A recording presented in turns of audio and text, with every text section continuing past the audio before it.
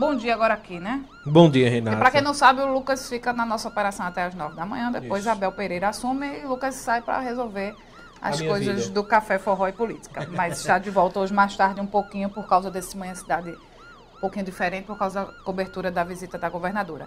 Então, Lucas, quais são os destaques? Vamos embora. A gente começa destacando, bom dia Renato, bom dia a todos que acompanham aqui o Manhã Cidade, que a PRF, a Polícia Rodoviária Federal, prendeu, apreendeu, melhor dizendo, lá em São Caetano, na BR-232, uma carga com cerca de 18 mil pares de réplicas de calçados e 200 bolsas falsificadas que imitavam muito bem marcas famosas.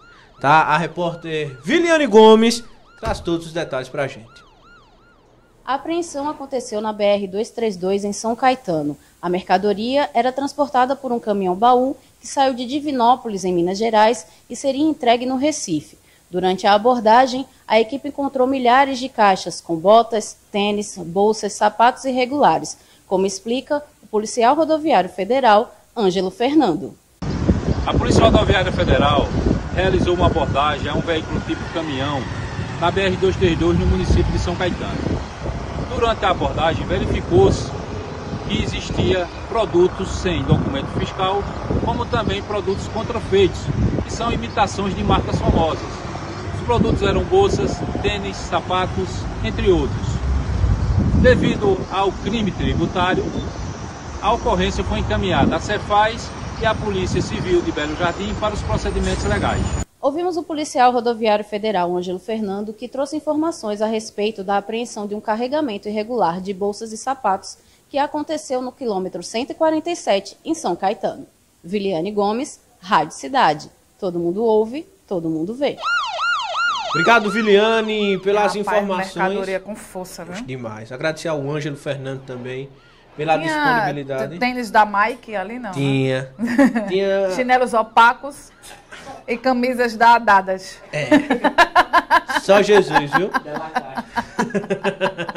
Lacaste. É. A, a, várias bolsas que não eram de couro legítimo. Era também. cor de jacaré. É. é. E ficou a dúvida, mas rapaz, o, o, o caminhão apreendido também estava sem nota fiscal tá? Está tudo errado. Tudo errado. O homem errado. foi encaminhado para a delegacia de plantão aqui de Caruaru e foi autuado aí, né, por carregar materiais ilícitos.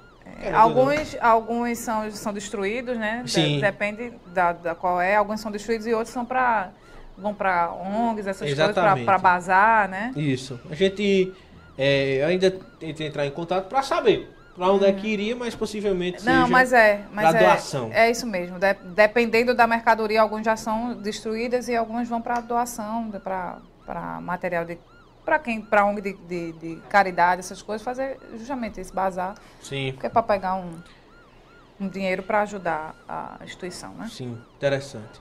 E olha só, Renata, um homicídio foi registrado na rua Padre Augusto Soares, lá no bairro Novo, em Gravatá.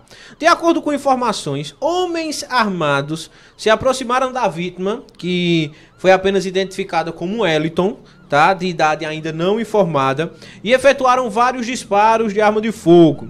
E atingiu a vítima na cabeça e que morreu antes de receber atendimento médico. Ainda segundo informações, o Eliton trabalhava em um lava-jato na cidade. A polícia militar foi acionada e chegou para isolar a área e aguardar o Instituto de Criminalística. O corpo foi periciado e encaminhado para o IML de Palmares.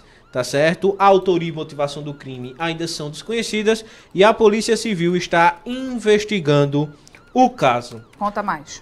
Coban trabalhou. Eita, cachorro! Foi. Trabalhou Eita. virado na gupta. E policiais. Não podia, vamos fazer uma matéria com ele, Lucas? Com Coban? Sim, um ao vivo. Lá no, no... Lá no Biesp? Lá no Biesp. Bora? Vamos, vamos entrar em tu contato. vai. Eu vou. Pronto. Bora, Vem. É. Aí tem que botar aquele negócio no braço, né? É. é. Como vem capete. É, vem capete. negócio no braço. É. Misericórdia. Tem que botar Jesus. no braço, ele vê se teu buchinho ele vai nele. É, ele vai achar que é só. oh, policiais do primeiro Biesp, com o apoio do Coban, tá? Uhum. Prenderam no bairro Vassoural um homem com uma porção de maconha, 44 reais, só que centenas de bolsinhas plásticas utilizadas para embalar droga. Guarde toda essa informação, porque ele tem envolvimento com outro homem que foi preso por tráfico de drogas, tá? Ele já foi preso várias vezes, tá? Esse homem. Foi apresentado na delegacia de plantão, onde o delegado doutor Luiz Bernardo o autuou em Ah, flagrante Bernardo. por tráfico de drogas. Ele passou a noite na carceragem e daqui a pouquinho, 10, 11 da manhã, vai ser apresentado em audiência de custódia. Abraço, Bernardo. Aí vem um outro cidadão. O sargento Márcio Duarte, junto com o sargento Vandilson e o soldado Maicon, do primeiro Biesp, tá certo? Eles estavam realizando rondas ali no Parque 18 de Maio, Sim. quando, quando Hum, encontraram um homem em situação de rua, certo. ali um pouco suspeito. Esse homem estaria esperando o cidadão do Vassoural que foi preso. E pasmem, ele tinha um colchão. E dentro desse colchão tinha 18 pedras de crack pequenas e uma pedra maior com 2 gramas e meio ali da droga, que ao ser fracionado renderia ali de 15 a 20 pedras de crack. As embalagens do cidadão anterior iria para o morador em situação de rua, queria embalar todo o crack e daí seria feito todo o tráfico de drogas.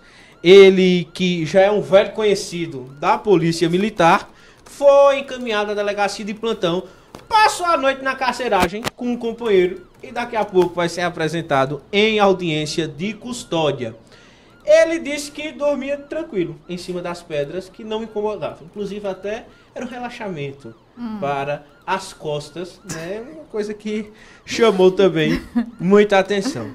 E pra Certo. gente encerrar por aqui, Renata, Sim. policiais do primeiro Biesp prenderam tá, um jovem de 20 anos que estava com mandado de prisão em aberto, é, expedido pela Justiça de Guarulhos, lá em São Paulo, por tráfico de drogas. É, ele foi levado para a delegacia de plantão, onde passou a noite na carceragem com os outros dois amigos, que também foi preso por tráfico de drogas, e daqui a pouco vai ser encaminhado para audiência de custódia. E esses foram os destaques da área policial.